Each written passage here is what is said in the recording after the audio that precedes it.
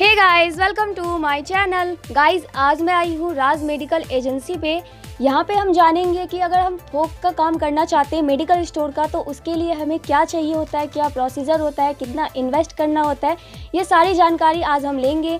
इन दोनों से लेंगे, ये सर हैं, ये मैम हैं, और कायदे से ये दोनों हस्बैंड वाइफ हैं, और ये दोनों ही इस शॉप को चलाते हैं, और ये जितना भी इनका थोक का काम है, ये दोनों ही संभालते हैं। बाकी और भी स्टाफ हैं इनके, वो देखते हैं।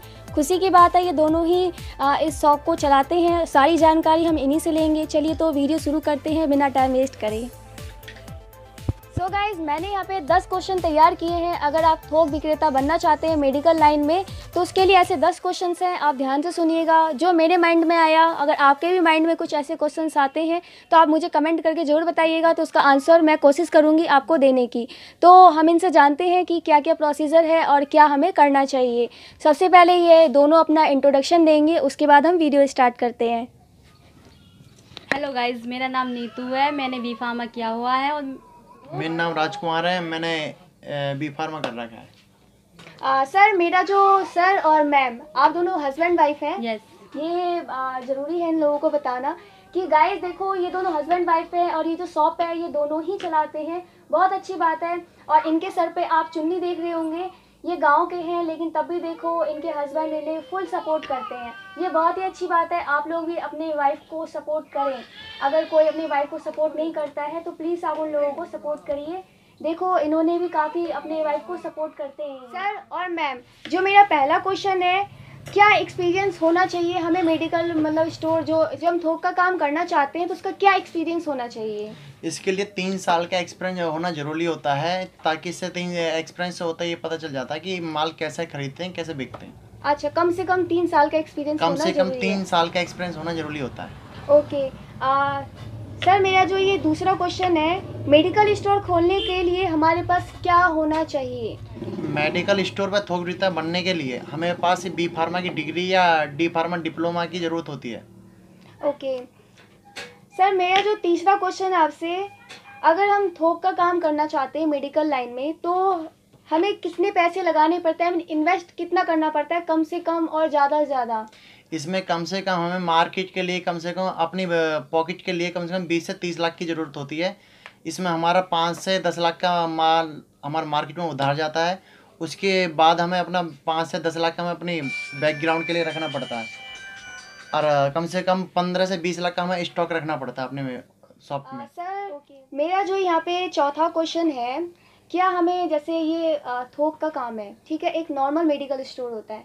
तो अगर हम थोक का काम करना चाहते हैं तो क्या उसके लोकेशन मायने होता है? क्योंकि मेरे पिछले जो मेडिकल का मैंने वीडियो बनाया है उसमें लोकेशन बहुत मायने करता है। और क्या थोक के लिए भी ऐसा कुछ है? मायने करता है नहीं लोकेशन इसमें ऐसा थोक के लिए कोई लोकेशन मान्य नहीं होता ताकि सप्लाई का काम होता है। जी। इसमें जो विक्रेता का जो रिटेल का जो होता है उनको तो मार्केट में रोड पे बैठना पड़ता है उनको तो कटिंग का काम होता है। हमारा तो थोक का सप्लाई का होता है इसको तो अपना अपना सेफ़ जगह देखो कहीं पे जहाँ पे कोई हमारा कोई कस्टमर आए मान लेने के लिए उसकी गाड़ी की व्यवस्था होगा वहाँ पे तो उसकी वजह से अपना होलसेल का बिज़नेस करने के लिए एक सेफ़ जगह होनी चाहिए। यानी कि इसके लिए लोकेशन मायने नहीं करता इसके है लिए लोकेशन मान्य नहीं है। बस आपका मतलब जो आपको लोग जानने चाहिए कि वहाँ पे थोक विक्रेता है चाहे आप घर पे क्यों नहीं है आपसे सामान लेके जाएँगे। हाँ जी हाँ, सर मेरा जो पांचवा क्वेश्चन मैंने यहाँ पे लिखा है कि अगर आप नहीं हो ठीक है या मैम नहीं है आप दोनों के पास डॉक्यूमेंट्स हैं लेकिन अगर आप दोनों यहाँ पे नहीं है तो क्या आपके घर के जो फैमिली मेंबर्स होते हैं वो आके ही चला सकते हैं? नहीं यदि हम दोनों में से कोई सा नहीं है हम्म, तो फैमिली मेंबर्स को नहीं चला सकता। यदि हम दोनों में से एक जना कोई सा है तो इसको हमारा अपनी शॉप को संभाल सकते हैं। अच्छा अच्छा यानी कि अ, जो डॉक्यूमेंट्स होते हैं हाँ। वो होना ज़रूरी है ये मेडिकल Yes. का काम करने के लिए चाहे थोक का करें या आप फुटकर का काम करें। हाँ इसके लिए डॉक्यूमेंट ज़रूरी होना। Okay okay. सर यहाँ पे मेरा जो छठा क्वेश्चन है अगर हम अपने बिज़नेस को आगे बढ़ाना चाहते हैं तो उसके लिए हमें क्या करना चाहिए? मतलब ऐसे क्या प्रोसीजर हम अपने बिज़नेस को आगे बढ़ा सकते हैं? यदि हमें अपने बिज़नेस को आगे बढ़ाना चाहते हैं तो हमें किसी कंपनी के डिस्ट्रीब्यूटर बनना ज़रूरी होना चाहिए। उससे अच्छा। क्या होता है हमें यदि जब हम किसी कंपनी का डिस्ट्रीब्यूटर बनते हैं तो हमें कंपनी अपना ही बंदे मार्केटिंग के लिए एमआर देती है। उससे वो हमारा प्रचार करते हैं कि हम इस कंपनी का हमारा ये इस ये एजेंसी वाला दवाई एजेंसी वाला ये हमारा डिस्ट्रीब्यूटर है यहाँ से आपका माल आएगा। अच्छा अच्छा ठीक है। सर एंड मैम हम जो ये थोक का काम होता है इसे करने में मतलब कितना परसेंट हमें मार्जिन हो जाता है? कितने पैसे मतलब हमें बच जाते हैं? पैसे तो बताएँगे नहीं लेकिन कितने परसेंट हमें बच जाते हैं ये हमें बताइए। इसमें हमें थोक का काम करने पे हमें कम से कम मिनिमम मिनिमम से आठ से दस परसेंट मार्जिन होता है हमारा। अच्छा आठ से दस परसेंट मार्जिन हो जाता है हाँ। सर मेरे यहाँ पे जो आठवां क्वेश्चन है क्या आप जैसे आप मेडिकल के थोक विक्रेता हैं तो क्या आप इसमें जैसे आयुर्वेदिक कॉस्मेटिक और भी ऐसे जो होते हैं क्या आप उसे हम रख सकते हैं थोक के विक्रेता?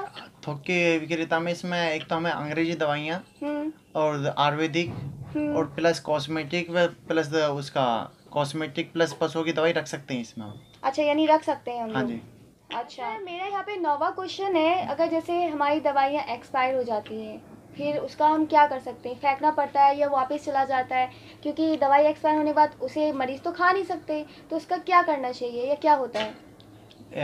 जो दवाई जो एक्सपायर हो जाती हैं ये दवाई दो क्वालिटी की होती है एक तो जेनरिक और पेटेंट जो पेटेंट होती हैं वो तो हमारी एक्सपायरी वापसी चली जाती हैं वापसी करने में हमारा दस परसेंट का मार्जिन घटता है। अच्छा। जो जेनिक होती है जेनिक दवाई हमें पीछे से कंपनी मार्जिन काफ़ी ज़्यादा देती है तो इस वजह से जेनिक दवा मेडिसिन वापसी नहीं होती।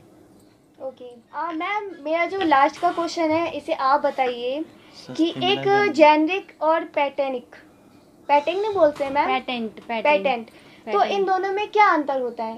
देखो जेनरिक और पेटेंट दो टू टाइप्स की मेडिसिन होती है। जी। इसमें जेनरिक में आती है लो कॉस्ट की मेडिसिन और पेटेंट में आती है हाई कॉस्ट की। जो जेनरिक मेडिसिन होती हैं थोड़े हमें कम सस्ती मिल जाती हैं। ओके और जो पेटेंट दवाइयाँ होती हैं वो वो थोड़ी महँगी महँगी मिलती मिलती हैं। अच्छा, लेकिन अच्छा। दोनों में यही अंतर है जो महँगी दवाइयाँ होती हैं वो असर भी अच्छा करती हैं उनका इफ़ेक्ट भी जल्दी होता है और साइड इफ़ेक्ट भी कम होते हैं। और जो सस्ती दवाई होती है। हाँ जो सस्ती मेडिसिन होती हैं उनका असर भी असर तो होता है लेकिन उनके साइड इफेक्ट्स भी ज़्यादा होते हैं। तो इनमें दोनों में दो, ये दोनों डिफरेंस हैं। तो मैम अगर ये जो जो सस्ता वाला दवाई होता है इसे हमें सेल करने से फिर कोई नुकसान तो नहीं है? देखो पब्लिक में इंसान सब तरह के होते हैं।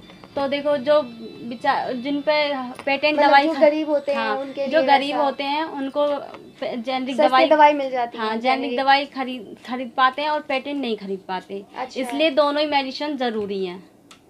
अपने शॉप पे रखने के लिए। हाँ। हर तरीके का होना चाहिए। हाँ। ओके गाइस अगर आप नॉर्मल मेडिकल स्टोर खोलना चाहते हैं तो आप राज मेडिकल एजेंसी से दवाई परचेस कर सकते हैं। यहाँ से आपको अच्छे रेट पे दवाइयाँ मिल जाएँगी और आपको जो भी हेल्प की ज़रूरत होगी, ये आपको ज़रूर हेल्प करेंगे। ऐसा इन्होंने कहा है। कोई भी दिक्कत आती है नंबर होगा, आप फ़ोन पे बात भी कर सकते हैं। या आपको कोई रेट जानना होगा तो आप इनसे बात करके आ सकते हैं। बाकी मैं नंबर और एड्रेस डिस्क्रिप्सन बॉक्स में दूँगी। आप एक बार देख लेना। सो so गाइज़ मैंने वीडियो में आपको बता तो दिया है इन लोगों से पूछ के दस क्वेश्चंस जो मेरे माइंड में आए। अगर आपके भी माइंड में कुछ ऐसे क्वेश्चंस आते हैं तो आप कमेंट करके पूछ सकते हैं, या तो मैं आंसर दे दूँगी, या अगर मैं आंसर नहीं दे सकती तो ये आपको आंसर ज़रूर देंगे। कोई भी क्वेश्चन हो, आपके मन में आप कमेंट करके पूछ लेना। और गाइज़ कुछ अगर मिस्टेक हुई हो तो उसे इग्नोर कर देना क्योंकि ये कोई आर्टिस्ट नहीं है ना इन लोगों को इस बारे में नॉलेज है। क्योंकि इन्होंने जो भी बताया ठीक है मुझे बहुत अच्छा लगा इन्होंने पहली बार बातचीत की पहली बार कैमरे के सामने आए। बहुत हद तक बहुत अच्छा बताया है और हमें बस नॉलेज से मतलब होना चाहिए। बाकी जो थोड़ा बहुत मिस्टेक होगा ना गाइज़ उसे इग्नोर कर देना। ठीक है ना जी? इग्नोर कर देंगे। ठीक है जी। तो गाइज़ इग्नोर ही करना और कुछ है भी नहीं रास्ता। तो गाइज़ सो गाइज़ अगर वीडियो पसंद आया हो तो वीडियो पे लाइक करें सब्सक्राइब करें प्लस कमेंट करें प्लस शेयर करें। कमेंट भी ज़रूर करें। आ, तो गाइज़ सब्सक्राइब करने के साथ याद है ना बेल आइकन दबा देना ताकि मेरा कोई भी आने वाला वीडियो उसका नोटिफिकेशन आपको सबसे पहले मिल सके। मिलते हैं नेक्स्ट टाइम नेक्स्ट वीडियो में। तब तक के लिए बाय बाय बाय बाय